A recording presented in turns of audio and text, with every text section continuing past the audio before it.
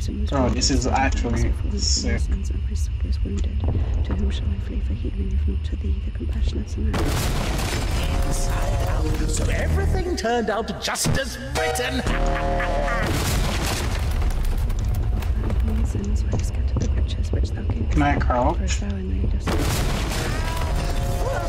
You got pushed out of your house and then out of the monastery. Oh my god, this is actually sick.